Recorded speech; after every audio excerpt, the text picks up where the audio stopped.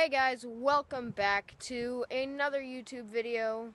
We have Ian here, Cameron here, and then Drew right there. Whoa. what in the world?